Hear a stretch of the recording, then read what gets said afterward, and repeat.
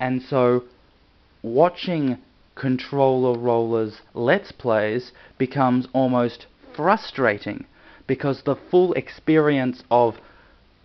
watching someone play a video game is lost, is not provided to you, and so you are left with a disappointing, frustrating, almost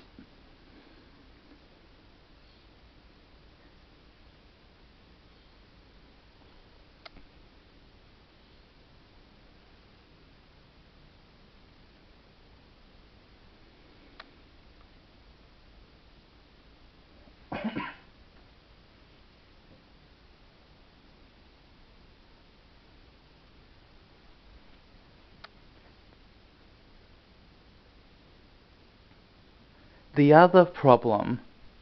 I think, with controller rollers is that their style of commentary that they employ while they're playing the video games is not, I think, the best style associated with Let's Plays.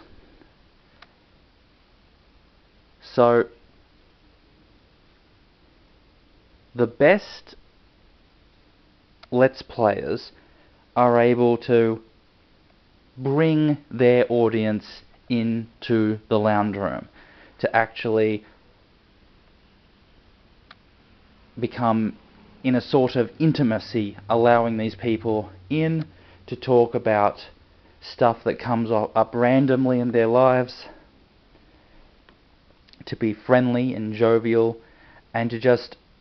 seem like you're sitting next to, you're sitting on the couch next to someone you know, a friend or a sibling, and you're just having a casual conversation with them about what's going on. And so it feels organic and natural. It just flows over the it flows through the process of playing the video game. These interesting comedic commentary content naturally comes to mind and you say it. And so it almost feels as if you're sitting on the couch next to these Let's Players and just having a casual conversation with them about the video game, about life, about whatever, with them in person. Too often, controller rollers seems to almost feel two steps removed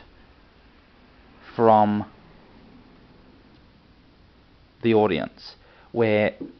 they almost feel like stand-up comedians, where they're standing up on the stage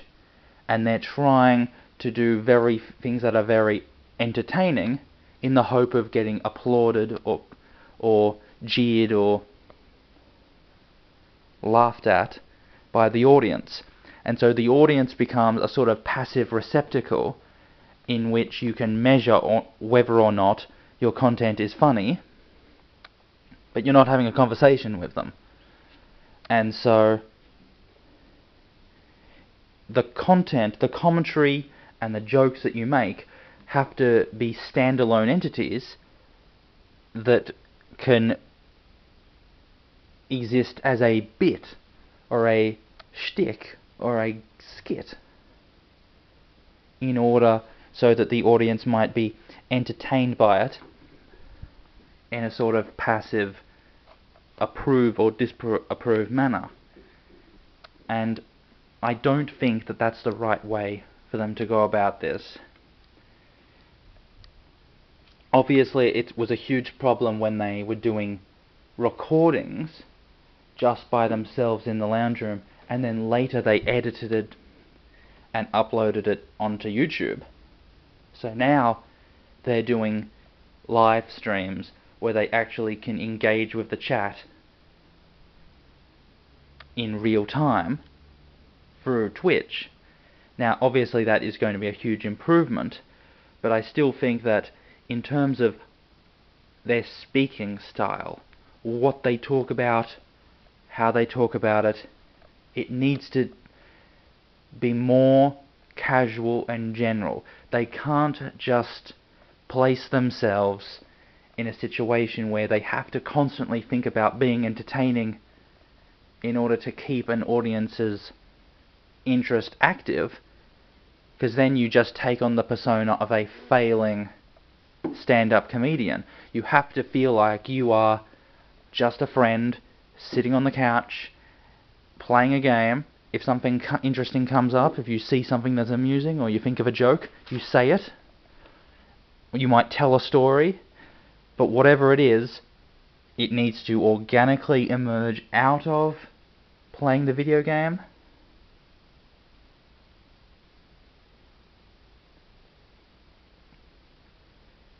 It doesn't need to be entertaining for every minute of every it doesn't need to be entertaining for every minute of every episode. There can be minute there can be times where there's a lull because nothing is happening and you can't think of anything to say, and that's okay. And you need to tell stories and tell jokes and make amusing commentary as though you were doing it to your friends on the couch. Don't worry about the camera that's in front of you. That's just going to distract you and make you think that you need to be become a performing monkey. Your best material is going to come out of you when you are more relaxed, when you're talking amongst your friends, and when you think that the camera is not turned on.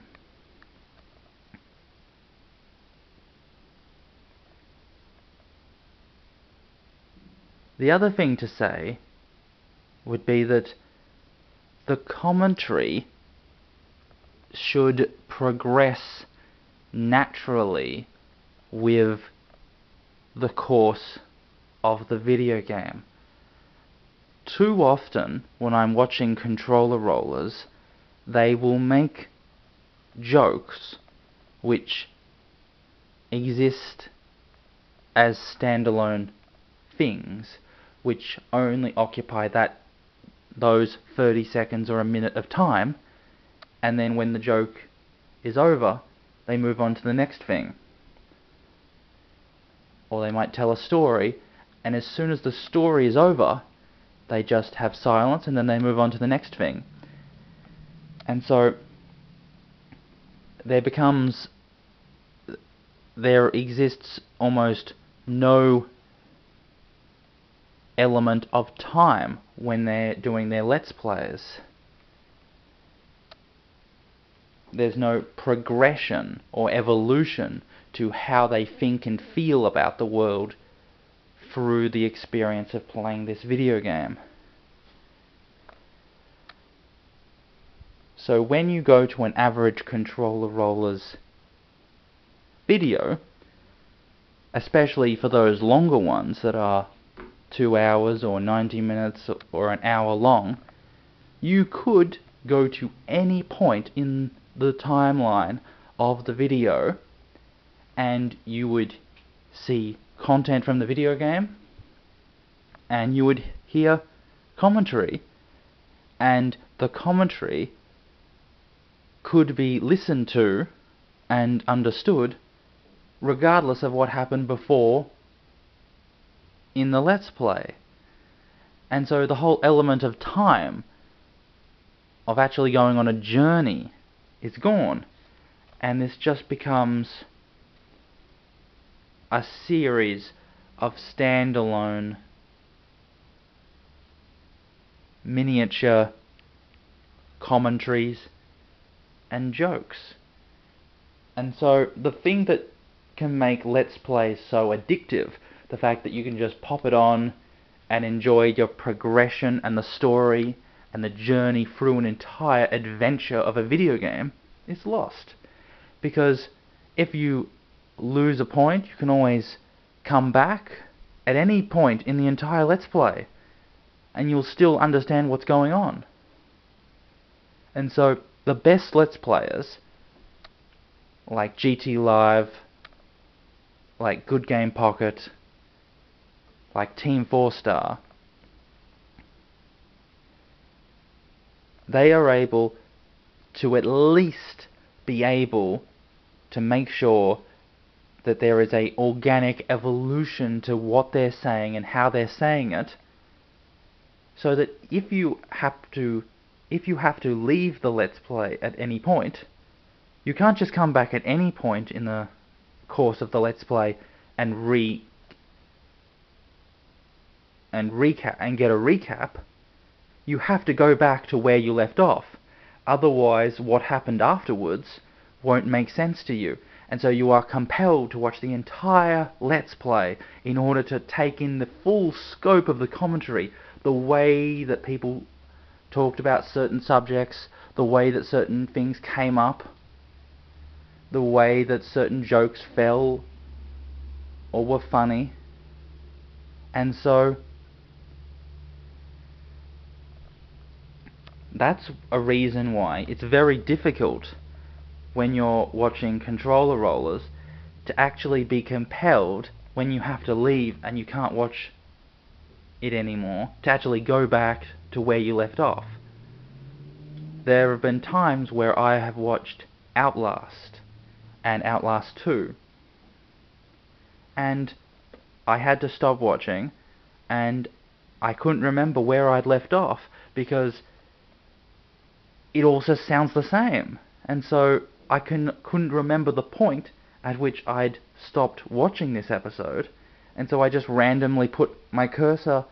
somewhere on the timeline and started watching, and it didn't feel any different. And so that sort of organic connection to the live stream and the live streamers, and that when you actually feel invested in knowing what's happening and following along, just isn't there and that's really frustrating for me because because I just can't feel myself compelled to follow along very closely to what controller rollers is doing because I can't feel like there's actually a point, a bigger picture point to me doing this. I don't feel